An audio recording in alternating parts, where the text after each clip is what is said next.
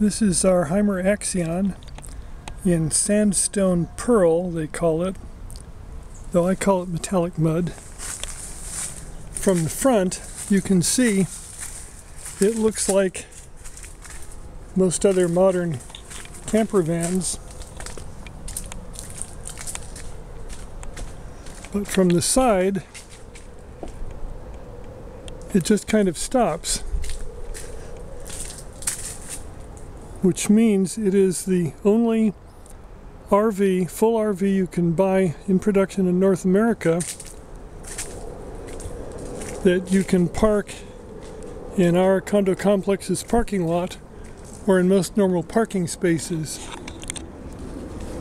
It's built on a Dodge Ram ProMaster chassis, so the cab part is like any other Dodge Ram ProMaster except for the swivel seats.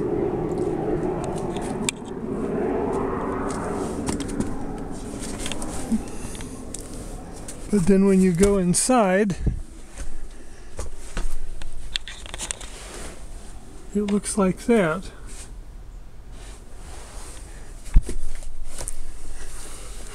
Someone over six feet tall can stand up straight in this. Let's turn the lights on. Oh, have to turn the juice on. This is LED rope lights. And there's also LED touch lights.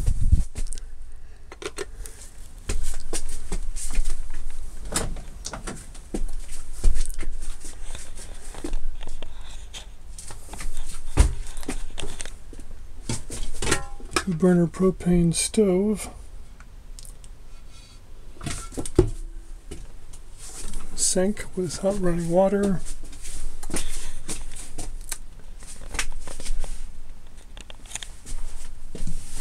Twenty-four inch TV with a DVD Blu-ray player, all running on 12 volt. You can see um,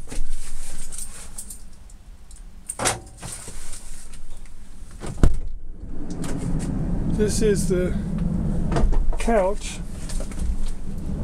which converts into a bed.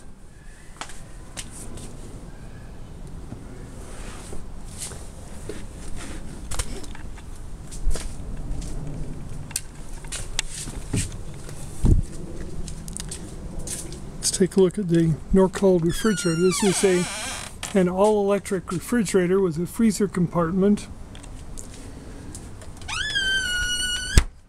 And over it is a pull-out work surface for the kitchen. With this, there's enough space for a lot of meal prep. Then in back here is the full toilet, complete with a macerator. This flips down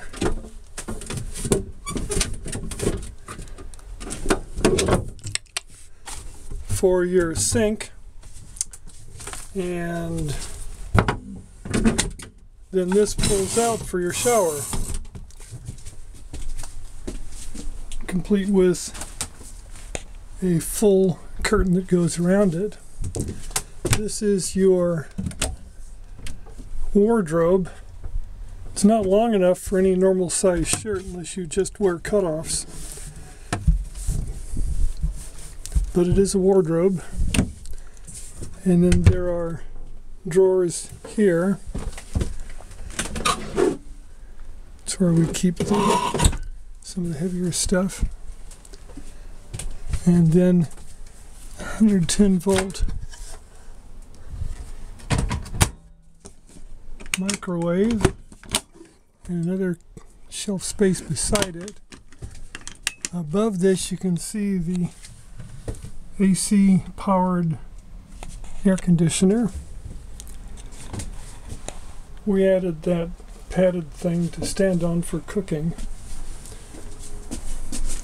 This is a table that pulls out when I don't have the bungee cord in the way.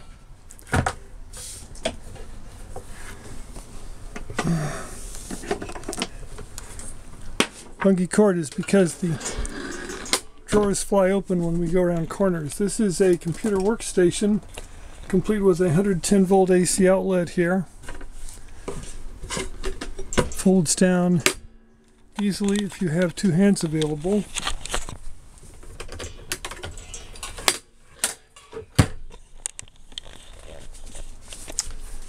Then the uh, the two seats swivel around to form a nice sort of entertainment area.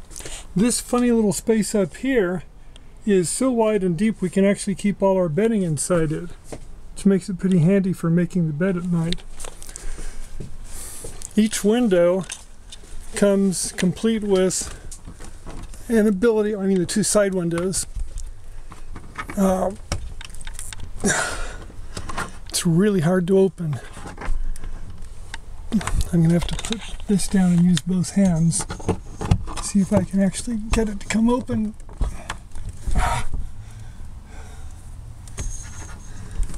Well, it's certainly not going to come open by, by accident. Ah, there we go. Okay, so it opens like this. And then there's a bug screen that opens up here.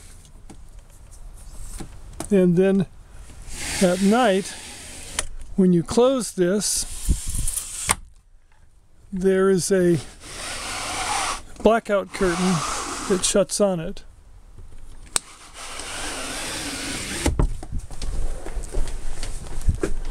And then this sliding door has a similar opening window, same thing. So you get cross ventilation even with that door shut. For the rear, we put on this cargo tray from Walmart because the Axion doesn't have a lot of storage space. That's the price you pay for having a vehicle this short. But this folds down easily enough. A lot of these things are two-handed jobs.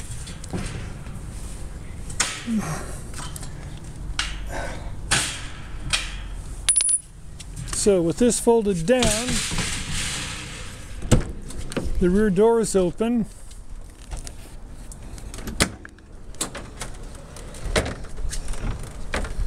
And they fold around all the way, which is very handy. There you can see the table, one of the two tables. There's the other one that go up in front on those two bases you see on the floor. The rear windows have a blackout curtain too.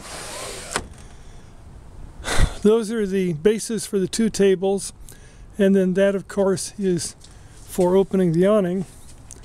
So even with the cargo bay here, you can walk right up into the back of the van, see the toilet and everything else.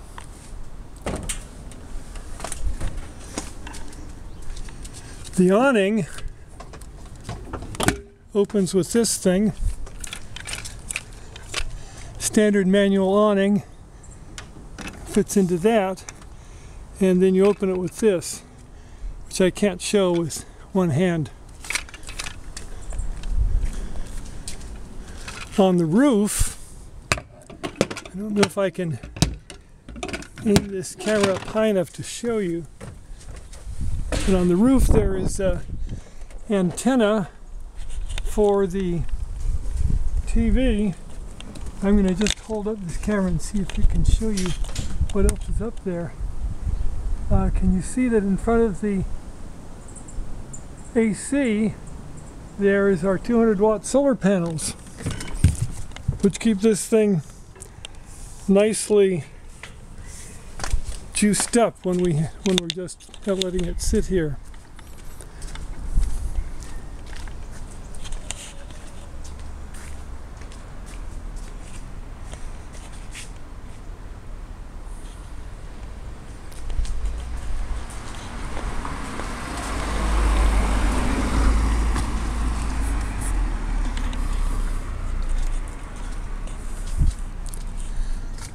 Let's see. Oh yeah, the things on the side.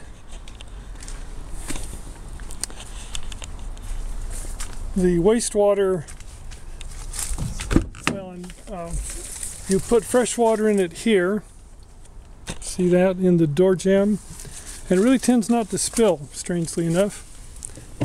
Fuel goes in there. And then that's where you put in your fresh water if you've got full hookups. And this is where you get the juice. And you'll see from that that it's a standard RV park 30 amp receptacle. The vehicle came with an adapter to 110 volt. Then to get rid of the wastewater, you lift this up and then use a little bungee cord to attach it to the furnace vent over there. There is the handle you pull, you see that? To get rid of the wastewater. You open that to get the uh, get access to the drain hose and use the drain.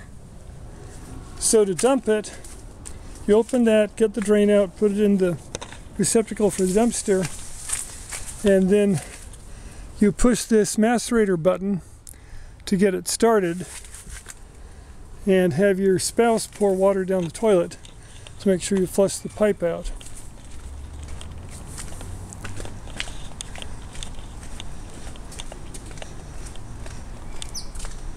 Then on the other side, you can see the plumbing for the propane is all here.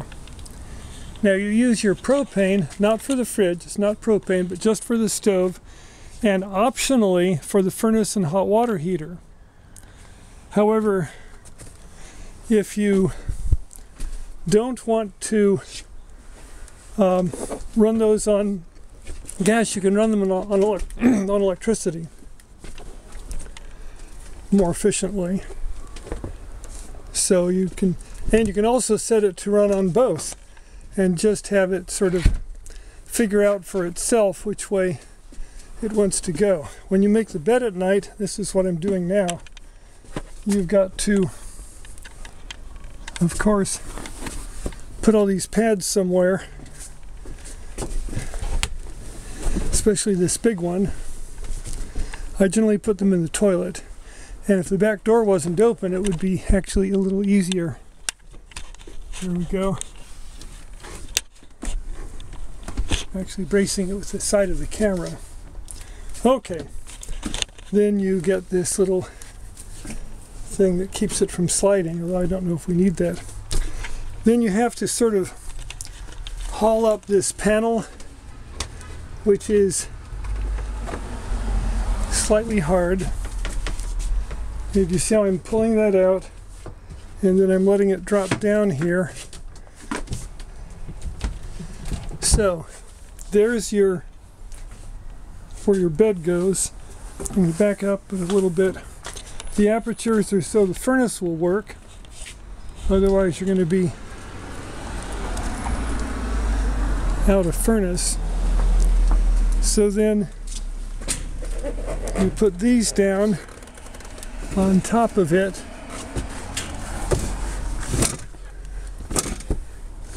There we go. The instructions say to put the little pads on the inside and the big pad on the outside. I'm gonna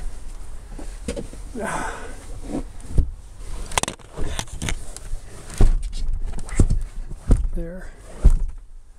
And then these go down here. Well, normally they go down on the inside, but you're just to have to do without that for this demonstration just to see what the bed is like when it's fully deployed.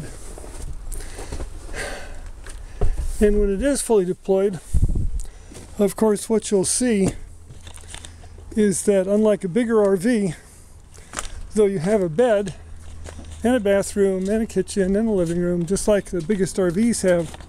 In this, it's all the same room. So when you've got your bed made, you're not going to be doing anything else in here. Okay, there it is with the bed made. See, I'll get in front and give you maybe a better view of it.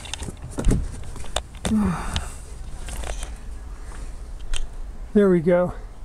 Now that's a full-size bed measuring roughly 47 inches by 74 inches. So my spouse is much shorter than me, always sleeps on the inside because that has those two boundaries. I sleep on this side, so if my feet stick out a little bit, they can.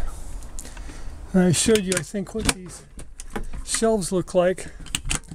We found we could get some standard sized bins from a hardware store, Walmart, or whatnot that fit nicely in that space and keep some of our dining stuff in there. And then we've got the mop for dusting the solar panels, which you have to do periodically, and the extended windshield washer thingy because the ones supplied by the gas stations aren't long enough to reach that humongous truck windshield we've got. Then these things lock when you do that. Too bad the drawers don't lock like that, then they wouldn't slide out when you're moving.